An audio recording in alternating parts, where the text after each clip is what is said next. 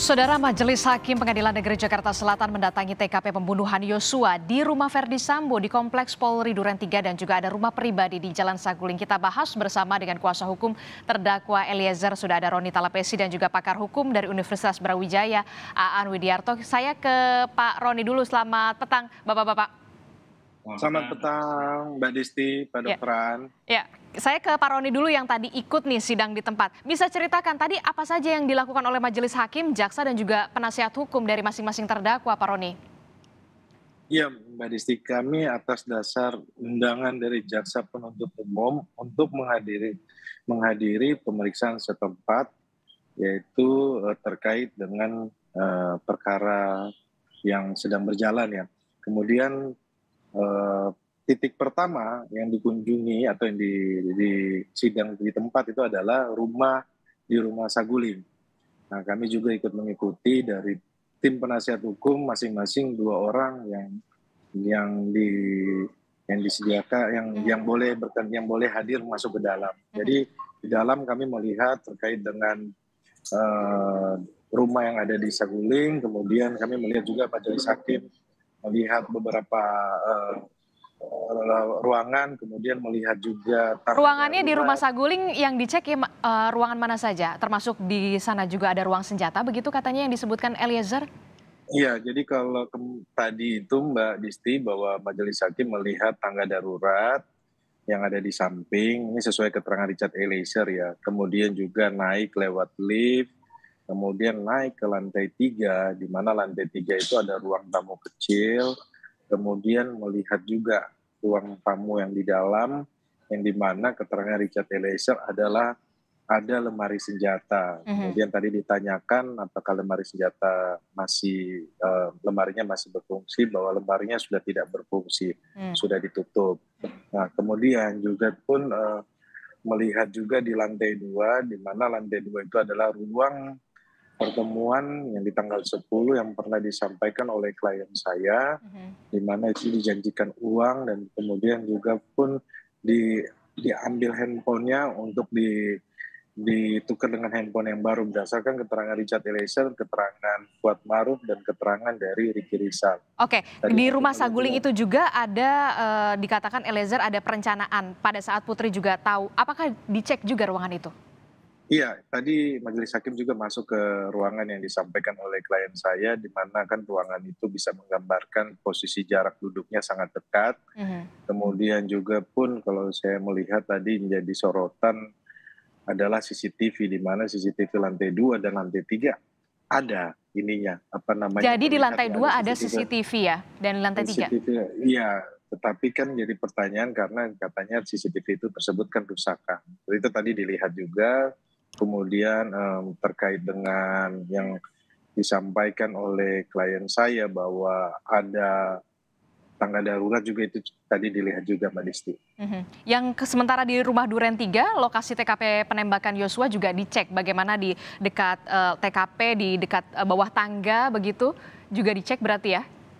Iya, kalau di rumah Duren 3 itu Mbak Disti di eh, majelis hakim melihat bagaimana posisi berdiri dari para terdakwa, kemudian juga pun jarak dari penembakan kepada almarhum Joshua. Mhm. Ini kan terlihat bahwa jaraknya sangat dekat ya. Ini kan sesuai dengan keterangan Richard Eliezer ya. Kemudian juga melihat kamar di mana kamar yang disampaikan bahwa PC berada di dalam kamar tersebut dan juga disampaikan kan kalau fakta persidangan sudah ada saksi yang menyampaikan bahwa kamar itu kan setengah terbuka ya. Mhm. Itu juga terli ini tadi dilihat kamar tersebut kemudian naik ke lantai dua, lantai dua juga pun melihat eh, dari atas melihat situasi di bawah. Nah ini juga pun Mbak Disti untuk menjawab eh, keraguan publik atau menjawab dari komentator yang menyampaikan kenapa tembak itu tidak di kaki atau tidak diarahkan di mana gitu kan. Kalau dilihat dari rumah tersebut, rumah ini kan rumah yang tidak terlalu besar atau rumah kecil ya, karena jaraknya kecil sekali. Jadi situasinya situasi yang Oke. tidak Oke, di. TKP pembunuhan atau penembakan Yosua, apakah kemudian hakim juga mengecek bagaimana jarak antara terdakwa eh, Eliezer, Kuat Ma'ruf, Ricky Rizal, bahkan Verdi Sambo di ruang tengah itu? Saya saya melihat uh, saya tidak tahu ya majelis hakim dalam hal ini melihatnya seperti apa. Tentunya di sini kan terlihat ya mengenai jarak berdiri, kemudian jarak tembak, posisi berdiri seperti apa. Itu kan tergambarkan di dalam rumah Duren 3. Mm -hmm. Untuk di rumah Duren 3 sendiri memang apakah ada CCTV atau bagaimana ketika Anda ke sana? Saya tadi melihat bahwa ada CCTV, tapi kan e, di persidangan kan disampaikan rusak ya, tapi masih ada bentuk kayak CCTV yang melekat di di tembok di atas atau di, di atap gitu. Jadi e, sebenarnya terlihat sih mbak di rumah Saguling juga lantai dua, lantai tiga ada CCTV, kemudian di rumah Duren 3 kita lihat juga ada CCTV yang masih nempel, tetapi tidak tahu berfungsi atau tidak kan. Oke. Oke, jadi beberapa ruangan dicek baik itu di rumah Saguling ataupun rumah Duren 3. Saya ke Pak An. Pak An, ini semua dicek ruangannya di rumah uh, Saguling, rumah Duren 3. Apakah ini kemudian memperjelas konstruksi dakwaan jaksa soal pembunuhan berencana, menambah keyakinan hakim atau seperti apa? Ya, uh, pertama kita coba lihat dari sisi KUHAP ya, Kitab Undang-Undang Hukum Acara Pidana. Di dalam KUHAP memang untuk pemeriksaan setempat atau biasa dikenal dengan PS ini ini lebih pada diskresi hakim. Ya, diskresi hakim untuk apa? Benar tadi disampaikan untuk menambah keyakinan hakim ya sebelum memutus perkara. Nah tentunya kan masih ada beberapa agenda sidang ini nanti adalah penuntutan, kemudian pledoi juga masih belum dilakukan. Nah ini mumpung setelah pemeriksaan bukti-bukti yang agenda yang saat ini di akhir ujung agenda ini, hakim ingin melihat uh, lokasinya khususnya dan dalam persidangan yang lalu kan hakim menyampaikan bahwa tidak ada pembuktian nanti di lapangan. Mhm. Pembuktian mm-hmm. ada di persidangan kan begitu kan. Jadi ini saya melihat bahwasanya hakim ingin lebih menambah keyakinannya. Khususnya tadi sebagaimana Bang Roni sampaikan soal jarak. Karena seperti Kuat sama Riki Rizal itu berkelit soal Sambo ikut menembak atau tidak. Ini kan uh, tidak tidak mengakui. Nah, sekarang hakim ingin tahu itu secara logis apakah masuk akal uh-huh. dengan jarak yang berdekatan begitu ya. Berdekatan begitu tidak tahu menembak atau tidak kan begitu. Nah, ini saya kira hakim nanti akan mempunyai keyakinan sendiri atas keterangan-keterangan yang berkembang di dalam persidangan, kesaksian-kesaksian juga dan itu uh, tentunya akan sangat baik untuk nanti ketika hakim akan memutus. Oke, jadi uh, ini adalah untuk menambah keyakinan hakim, walaupun memang tidak ada pembuktian di uh, sidang di tempat, namun pembuktian tetap di persidangan di Pengadilan Negeri Jakarta Selatan. Saya ke Bang Roni lagi, Bang Roni. Uh, dua terdakwa lain berkelit kalau tidak melihat Sambo saat menembak Yosua begitu. Tanggapan Anda seperti apa dengan jarak yang begitu dekat ternyata di ruang tengah? Iya, Mbak Disti kalau jaraknya itu dua meter ya kalau saya hitung ya. Jadi sangat tidak mungkin kalau salah satu terdakwa Kuat Maruf yang menyampaikan bahwa dia tidak melihatkan. Tetapi kan ada hasil dari poligraf yang yang disampaikan bahwa ketika ditanyakan kepada saudara Kuat Maruf itu hasilnya itu dia berbohong. Jadi sebenarnya di dalam rumah Duren 3 ini sudah tergambarkan situasinya ya bahwa situasinya posisi berdiri, jarak tembak, kemudian posisi dari RE, FS, RR, KM, dan PC itu sudah tergambarkan jelas bahwa rumah ini tidak rumah yang kecil. Sekali lagi saya sampaikan seperti itu ya. Hmm. Jadi jaraknya sangat dekat. Jadi kalau seandainya uh, keterangannya berubah-berubah, kemudian menyampaikan tidak melihat menurut kami ya, tetapi sekali lagi nanti dikembalikan kepada keyakinan hakim ya. Hmm. Tentunya dalam hal ini majelis hakim melihat situasi rumah secara visual. Ini kan untuk uh, menggambarkan bagaimana keterangan-keterangan saksi-saksi yang sebelumnya sudah dihadirkan kan untuk mencocokkan ya keterangan saksi juga kemudian uh, bagaimana menjadikan suatu peristiwa pidana ini secara utuh ya. Oke. Okay. Dan juga terus ya Oke, yang menarik juga soal uh, jarak dari TKP penembakan Yosua dan juga kamar yang di dalamnya adalah Putri Chandrawati yang katanya sempat menutup telinga ketika mendengar letusan. Apakah jaraknya juga dekat sekali? Iya, itu jaraknya dekat, Mbak. Jadi jaraknya itu 3 meter kalau saya lihat ya. Jadi itu dekat. Kalau penekan kompas tadi melihat bahwa dari pintu kamar ke almarhum jatuh itu tergeletak itu jaraknya sangat dekat. Dan nggak mungkin kalau Putri tidak mendengar begitu ya? Ya, tergambarkan rumah ini kecil mbak. Jadi kalau apa pun yang terjadi pastinya mendengar ya. ini kan supaya hakim melihat ya. Kalau saya kan dari awal kan sudah sampaikan kan pasca rekonstruksi. Tetapi kan dalam hal ini untuk terkait dengan keyakinan hakim tentunya hakim hadir ya. Dan kemudian kan yang kami di Rumah Saguling juga yang bahwa ada keterangan Richard Eliezer yang menyampaikan bahwa dia membawa senjata stayer dilewat tangga tengah ya.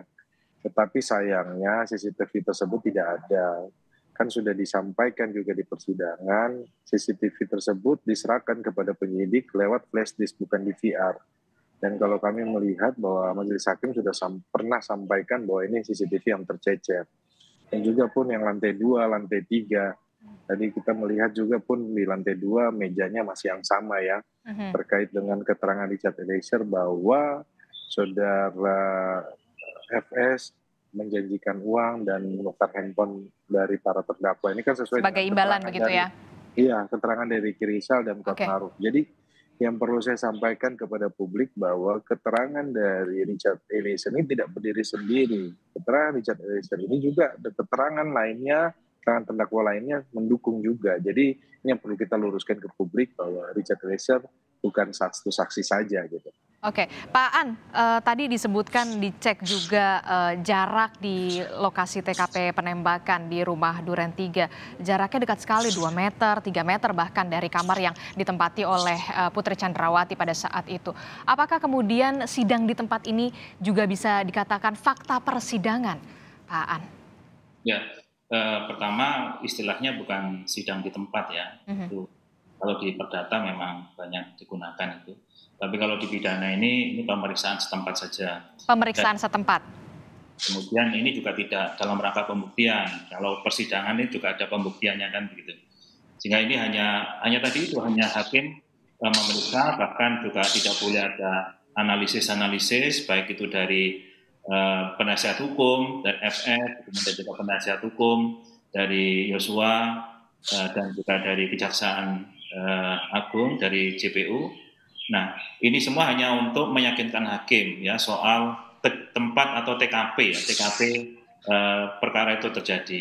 Kenapa hakim perlu keyakinan? Karena dalam persidangan kemarin kita lihat bahwa keterangan saksi maupun juga eh, bukti-bukti eh, yang mendukung tadi ya, ya pemeriksaan eh, lie detector, kemudian juga soal psikologi, ini semua ada hal yang bertentangan ada hal yang uh, tidak berkesesuaian.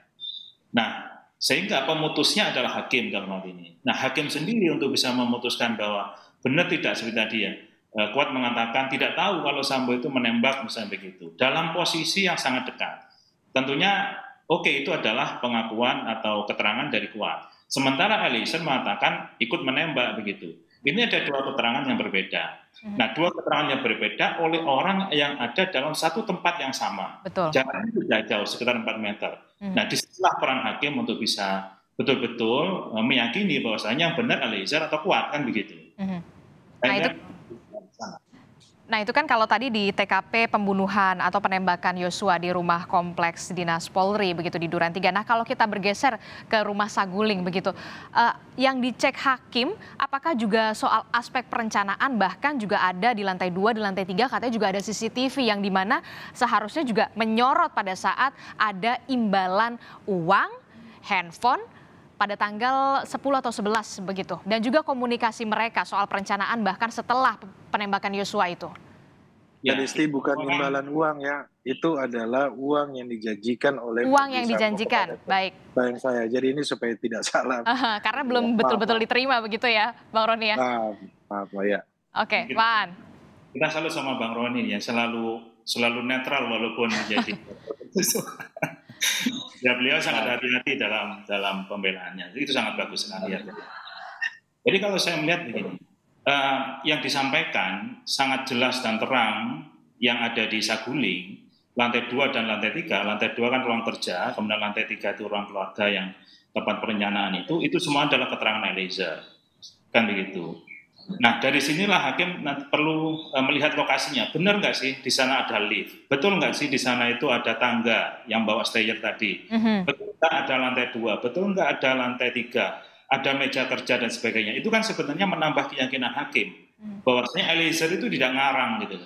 gampangnya adalah kalau sampai Eliezer mengatakan uh, di ruang kerja disodori amplop yang nanti akan diberikan uangnya, hanya diperlihatkan saja nanti akan diberikan setelah itu satu miliar, 500, 500 kan itu, itu di lantai dua begitu. Di sana ada ruang kerja. Nah hakim kan mencocokkan. Ada ruang kerja tidak di saguling lantai dua. Kalau ada, nah itu menambah keyakinan begitu. Karena memang sendirian bukti eh, bukti seperti CCTV, saksi itu kan minim karena dikatakan rusak dan sebagainya. Sehingga yang ada kan tinggal bukti yang tidak bisa bicara, ya tembok, kursi, kemudian uh, lift, itu kan yang nanti bisa diajak bicara tanda kutip oleh hakim dalam hal Oke, tambah keyakinan itulah kemudian yang dilakukan oleh uh, hakim majelis hakim mengecek TKP Duren 3, rumah Duren 3 dan juga rumah Saguling. Terima kasih untuk perspektifnya uh, Aan Budiarto yang merupakan pakar hukum uh, dari Universitas Brawijaya dan juga ada kuasa hukum dari terdakwa Richard Eliezer Roni Talapesi telah bergabung bersama kami di Kompas Petang. Sehat selalu Bapak-bapak. Sehat selalu.